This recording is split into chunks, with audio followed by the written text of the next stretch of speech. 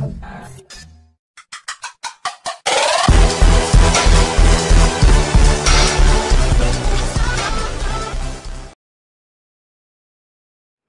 what it's about though. Controlling the weight, not letting it control you, control you. Controlling your life, not letting it control you. Controlling, you know, your day, your daily moods, your thoughts, not letting them control you. See what I'm saying? You're taking control.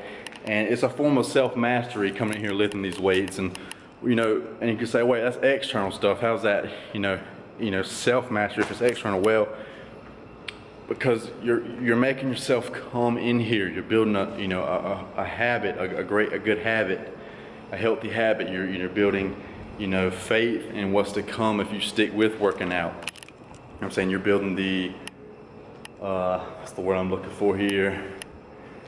Not the tenacity, but just the drive, this the the come, to never give up. Basically, I'm I'm I'm at loss of words for that exact word, but you know what I'm saying the consistency, you're building that consistency that day in, day out, day in, week after week after week, doing that carries over to other things. Gym's so parallel to life.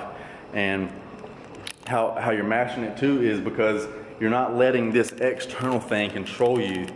You know what I'm saying? We can move that again to anything else in external life. Somebody cuts you off in traffic. How much are you going to let that control your mood, your anger, you know what I'm saying? And then even if you do let it spike you up mad, how long are you going to stay in that state? Is that going to ruin the rest of your day or are you going to, you know, be, blow it off in five minutes? You see what I'm saying?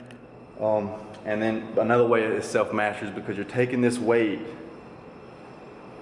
and then you're completely in control of it. You see what I'm saying? You're lifting, you're dictating how and where the uh, stress is placed. You're not just just lifting it any way you can and just trying to get the weight up off you. You know what I'm saying? You're you're building that mind muscle connection. You're strengthening that, building that within yourself, and the technique and everything. It's just it's just you know you're just building skills on top of skills and just making yourself better. Basically. Anyway, I'm gonna stop the talking because I want to get this workout going, so I'm not home too late, eating too late, and all that kind of stuff.